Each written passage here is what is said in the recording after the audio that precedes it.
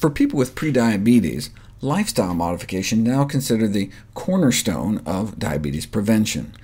Diet-wise, that means individuals with prediabetes, or diabetes diabetes, should aim to reduce their intake of excess calories, saturated fat, and trans fat.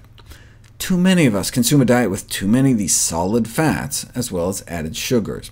Uh, thankfully, the latest dietary guidelines aim to shift consumption towards more plant-based foods.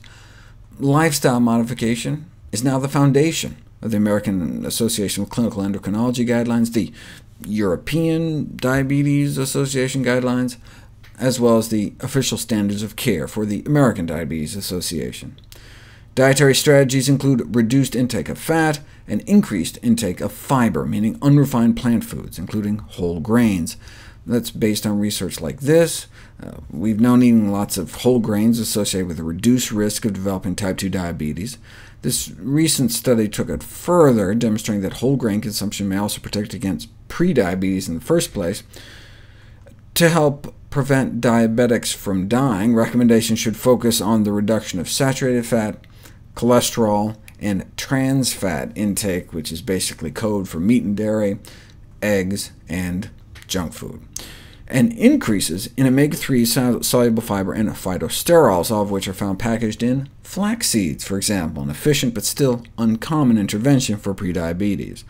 They found that about 2 tablespoons of ground flax a day decrease insulin resistance, which is a hallmark of the disease. So if the standards of care for all the major diabetes groups says that lifestyle is a preferred treatment for prediabetes because it's so safe and highly effective, why don't more doctors do it?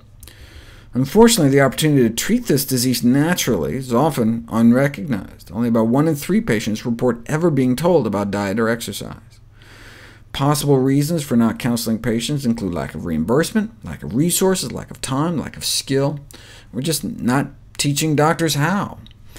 The inadequacy of clinical education is a consequence of the failure of healthcare and medical education to adapt to the great transformation of disease from acute to chronic, from you know, broken legs to broken hearts. Chronic disease is now the principal cause of disability, consuming three-quarters of our sickness care system.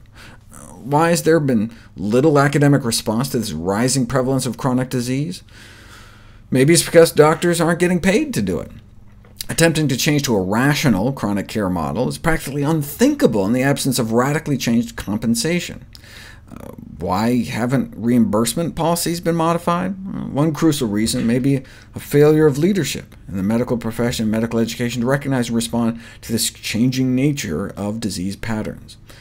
How far behind the times is the medical profession?